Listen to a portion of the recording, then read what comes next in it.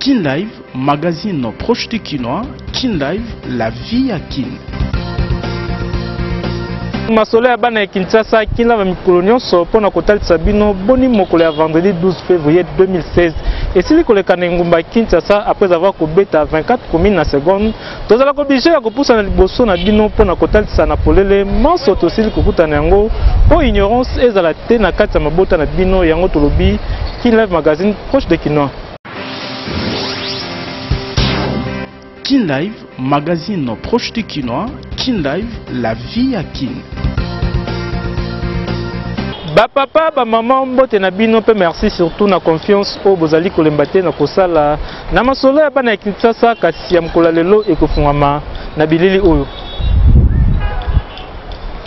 Première session ya Commission nationale des droits de l'homme esalemi mokolo ya lelo na salle de spectacle ya Palais du Peuple na contrôle la ville ya Kinshasa, Kinlive tozalaki kuna. Ouverture ya session ordinaire ya Commission nationale des droits de l'homme CNDH esalemi vendredi ya lelo 12 février 2016 na Palais du Peuple. Cérémonie officielle oyo ekonnetraki présence ya ba personnalités ya ndenge na ndenge ndakisa rapporteur ya Assemblée nationale,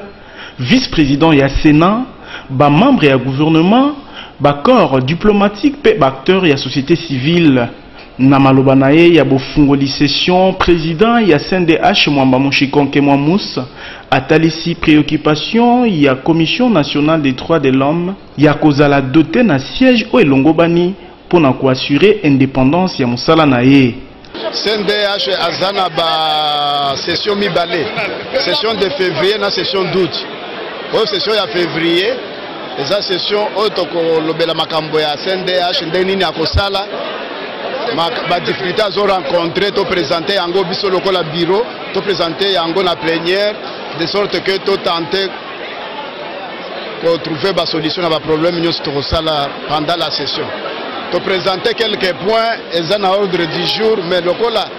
Eza session ordinaire, calendrier eza ouvert tous les points qui eh, oyo ekoya nani na nsima ekokota kaka na calendrier wana. Session ordinaire oyo efungwami na ngonga oyo ba tension politique ezali na mabongisami ya maponami na République démocratique du Congo. Na yango président CNDH a encouragé likanisi ya dialogue national initié na président Kabila. na biso toza bato bapesaki par l'état congolais tosokipe na makambo ya droit de l'homme donc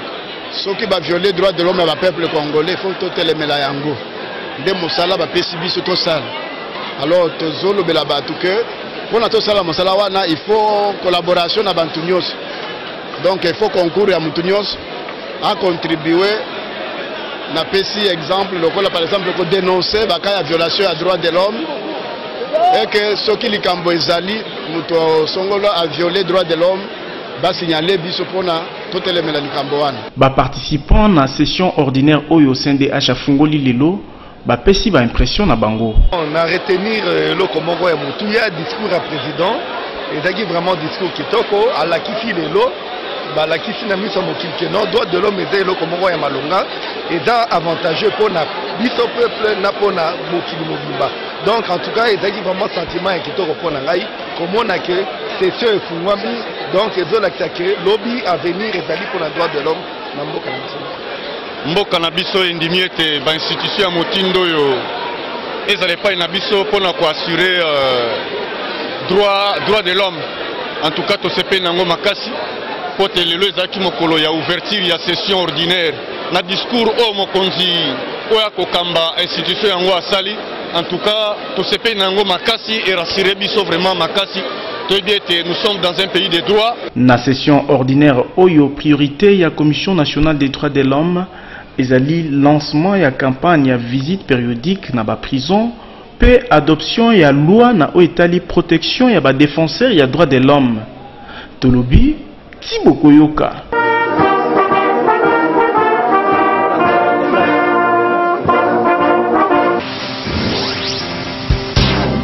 Kin Live, magazine proche du Kinois. Kin Live, la vie à Kin. incroyable mais vrai na commune ya limete transport ya bwatu nde ezali kosala impact pamba te yango nde ezali kosunga population ya quartier ndanduna oyo ya salongo bayeba kokutana Bokondima te kasi ezali ya solo en pleine capitale ya Kinshasa mpe na epoque ya revolution ya modernite, transport ya bwatu nde esungaka bandeko bafandi na quartier Ndanu mpe ya Salongo na commune ya Limete bakutana. Lolenge oyo ya kokatisa na bwatu ezali risque makasi mpo na population ya ngambo oyo kasi bazali na choix te pamba te nzela ya mokuse yango oyo. Mwana esalama penza bien te. mpo na koloba mpo wana esi eboma mutu na periode ya mbula mutu azokatisa mai ememi mutu mwasi ya zemi ya 7 mois na mwana ya 3 ou 4 ans batiola ti lelo bakenda a cause ya mpo wana mpo wana ebukana bamabende ba, ba batiaka pembeni elongwa ti lelo moto azwa soin na yango mpo arepare yango azongisa yango ndenge basalaka yango aza te me balekaka bamonaka yango vraiment na quartier oyo eza mpasi mingi donc tobengaka yango village na sensi nini donc gouvernement atiraka attention na ye te na bakartier mibale oyo esalamaka neti ke kartier oyo ezalaka te na kati ya kinshasa existaka te Pwa ba dégâts ezosalama ebele na quartier oyo mais gouvernement azokipe quartier oyo te tozomona meme euh, na batelevision bazokende parci par là bapesi babiloko basali boye mais esika bato bauti kokufa esika bato baperdre babiloko na bango baperdre bandako na bango gouvernement azokipe yango te alors tozotuna estce toza na kinshasa ou bien toza na kinshasa te toza na congo ou bien toza na kati ya congo te toza peuple congolais ou bien toza peuple congolaise te eloko ezosala biso mpasi yango wana susi na biso lisusu makasi mbula euti kobeta inondation esalamaki babwatu oyo nde esungaki biso kobima kokima ozomona neti nga navandaki likolo ya ndako panda deux jours nalali na batole nalamuki moi ebeteli nga likolo ya batole de jour mobimba bana bakima bakende olala na eglize biso totikalaki wana kobatela ndako na mwa biloko mai ekotaki na nivo ya koleka na tolo na nga awa na kati ya ndako bakiti ebeba batelevizio ebeba batelefone ekenda biloko ebele toperda tout bato mosusu bakufaki bamire ekwelaki bango bakotaki na basaint joseph bamosusu bakufaki sur place bana batiolaki ti lelo bamonana te alors gouverneur ayaki aye ti lelo tozoyoka silence bientôt mois d'avril bazo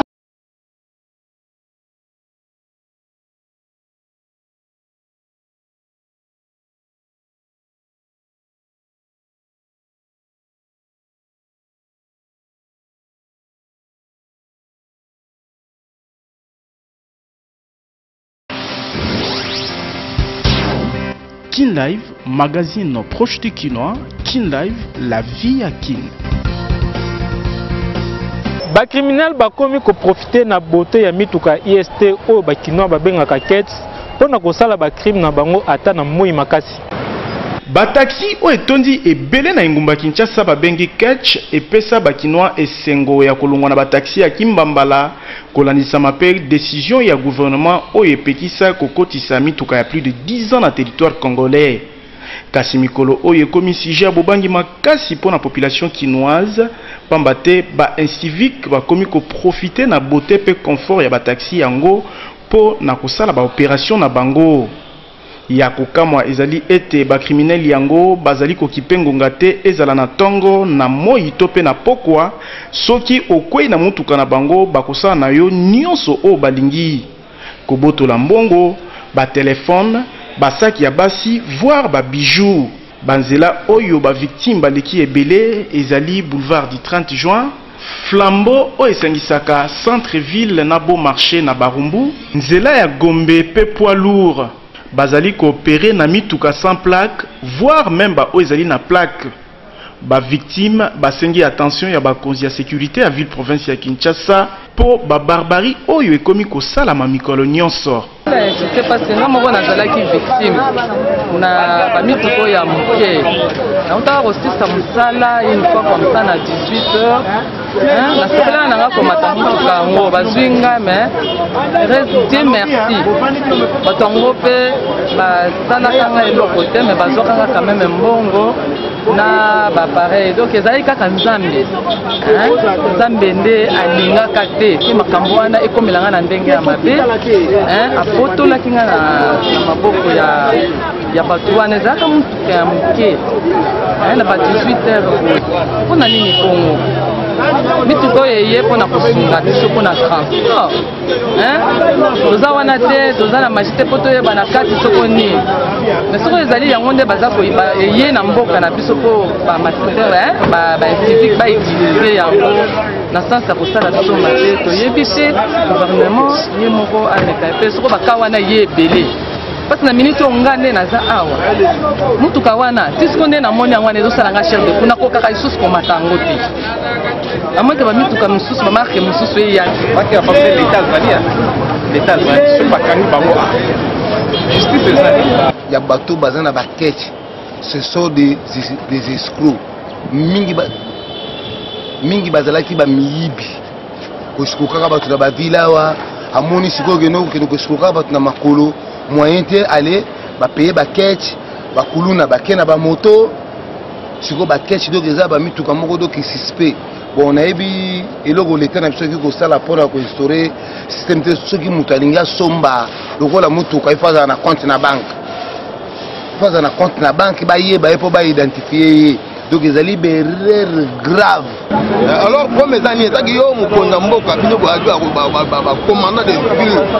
oyo baya commandant de ville ezaki mokonzi ya mboka ozo sécurise biso il faut osala babouclage kota babouclage luka luka kota kota banda kozwa bato wana moma oyo mboka ezali komilengela mpo na maponami ezalaka moma ya batension makasi na yango autorité compétente Esengeli azwa ba precautions mpo na ko neutraliser mpe ko stopper phenomène oyo. Tolobi tii bokoyoka.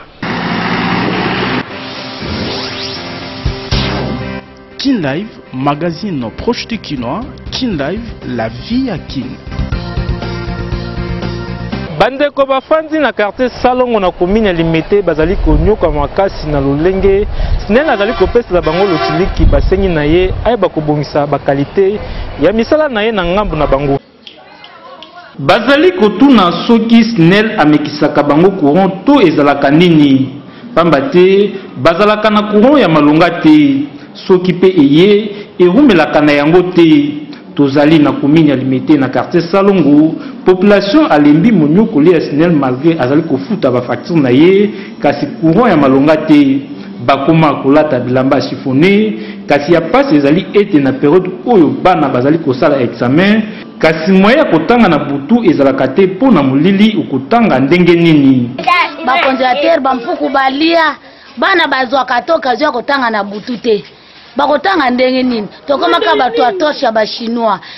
tokomaka bato ya makala regio tosalelaka te nyonso tosalaka te batindela biso kura bayobongisela biso basinga basinga nyonso ezika etetuka moyo tosala eza te ah, tozalaka na courant te bacongélateur ebeba na ndako batelevizio ebeba papa ndenge nini tokozala na mposa tosomba biloko mpo bana basakana mwana soki abimi libanda eza mpo kura eza te mwana kozwa likama na kati ya balabala soki kura ezali mwana kovanda na ndako journée mobimba papa toza na posa bakonzi batalela biso makambo ya kura soka lelo soki ayela biso na 2 heures 5 heures 6 heures ekei tosalaka biso biloko ya kura te bakasi biloko ya courant te bafrigo bacongélateur banini nyonso to evanda kaka pamba batv ekoma echatio kaka na bandako molili efavorizaka makambo mingi ya mabe yango snel esengeli koamenage baeffort mpo bakinois bazala servi na ndenge elongobani tolobi ti bokoyoka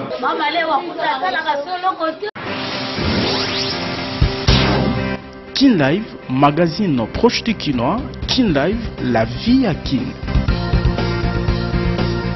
kaka na oyo etali lotiliki population bafandi na quartier mbandaka na commune ya bumbu bango mpe bazali kolela pamba te snel azali konyokola bango makasi na oyo etali lotiliki pdg ya snel papa mbala talela biso problème toluka biso solution ce n'est pas bien inga trop to inga dango jusqu'à quand ekosilaka Bazali kotuna soki ekoma na yango esika ya masuba to ezali kaka cabine ya courant. Pamba te, malgre presence na yango awa kasi bazalaka na bango na courant ya malonga te. Bandeko bafandi na quartier Mbandaka na commune ya Bumbu bazali kobika na molili, kolamba na makala, ebongo b'appareils electro-menagers etikala na yango esthetique ya palais. Kutu, ndenge ba Leopards bazali kobeta match mikolo oyo, bango esengeli baluka esika ba groupes electrogènes ezali mpo na kotala yango. Ba cables kutu koloba te, ekoma danger monene mpo na population. Yango basengi na Snel alukela yango solution. Donc courant na biso awa vraiment difficile, mpo na kozwa courant awa eza pasi lokola ba match oyo ya Leopards. lobi tomoni mpasi tozokende kolanda match bisika groupe eyali tozokende kotala match ya mboka eh? match ya mboka neti match ya leopard match monene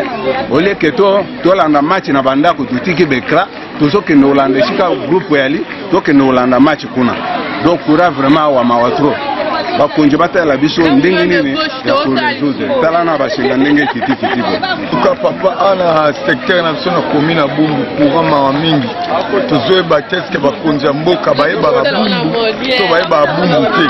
donc bumbu wa tozosouffrir tala ndeti courant lobi tosali 24 heures courant ye te donc mawa mingi basalela biso ata balongola biso ata na ligne ya funa bakotisa biso ata na ligne ya selembau eozala malamu mingi awa na selembau na bumbu tosouffrir makasi papa pasi pasi surtout na problème ya courant vraiment moye te tozotuna est ce que courant oyo ezalaka ya mboka na biso to tozwaka courant ya mboka bapaya po mboka ya biso moko mai courant na biso ekoma pasi so ekatani 4 heures koya 2 heures 3 heures soki tokolamba o oh, totokisa to nini boye vraiment so mbula ebeti danger mpo na bana toyebaka te kabine oyo ezalaka echantion to ezalaka toilette mpo bato bako kosuba awa kabine efongama kaka 4 heures badelese 4 heures alobi ezongiseni pas bien na eh, dg ya pdg ya snel papa mbala talela biso problème to luka biso solution ce n'est pas bien inga trop to inga dango jusqu'à quand ekosilaka juste oyebaka te mpo makura ngo eh, depuis baloba babongisa ya deux ans passé kura emonanaka malamu te tolandi susu na bachaîne moko boye balobi ke o oh, ti ba mois de mars ou avril c'est comme ça nayebi te se basinga oyo batiela biso eza basinga mfumbwa oyo oh, to basinga vraimen ya eh, basinga vraimen ya kabi eh, basinga vraimen ya kura juste mais eza ma pasi toyebi te soki tozo kovivre vraiment na mboka na biso eza vraiment normal na badroit na biso vraimen tant que population ya peuple congolais ah, papa courant biso tozalaka nango lisusu te courant ekoma batanto plutot babiloko nyonso ti toza nango na ndako ekoma baéchantillon facture ezoya cher mais tozalaka na courant te mpona tozomonaka ntina ya facture te basoki bayebi bayebi mpo bakata bino courant mais tandis ke boza na facture te boza na courant te donc pasi pasi mpenza likambo ya courant toyebi te so tolobela nini awa na commune oyo population ya quartier mbandaka na commune ya bumbu bazali kotuna soki projet ya botongi inga 3 ekoma na niveau nini mpo na ngambo na bango molili eleki moyen ya kobika malamu ezali te tolobi ti bokoyoka Kin Live, magazine proche du Kinois. Kin Live, la vie à Kin. Avenue Kasaï na commune ya Barumbu ebebi makasi bakumbi bakomi kolela pamba te mituka ezali kokufa bango mikolo nyonso na nzela wana basengi na bakambi oyo balandaka makambo ya nzela bayeba kosala quelque chose. Kokota centre ville via commune ya Barumbu ekomi casse-tête Te mpo na bakumbi mpamba te babalabala nyonso ebebi makasi na mabulu, mai mpe potopoto. Nzela kitoko etikalaki balabala Kasaï, kasi yango mpe ekomi kobeba. Bipai mabulu, bipai mosusu ba tuyau Regideso kotoboka, ndakisa na niveau ya William But pene ya Wenza Mabaya.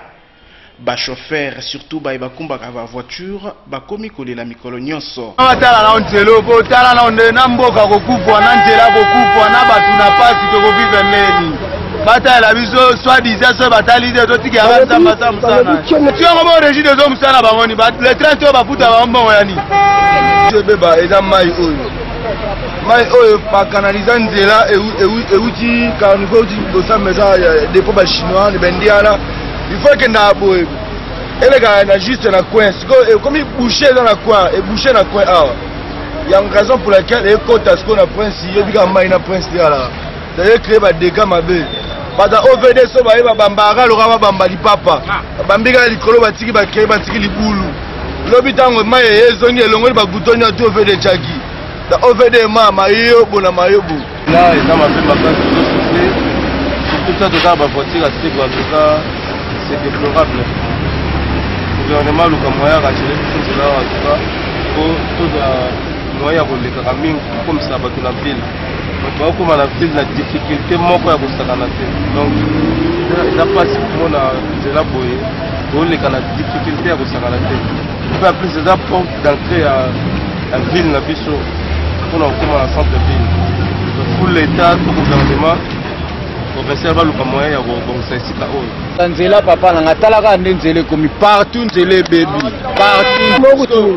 oyo kasai siko tokodialoge ndenge nini nzela ebebi boye bokasa partout ata nzela moko te eza malonga tokende dialogue nyonso deeza ezala ya kosomba banzela nyonso ekomi na etat ya mabe makasi Kasi, na yango esengeli e interpeller bakonzi ya ville mpo na lolenge ya boye mboka ezali kobeba. Tolobi tii bokoyoka.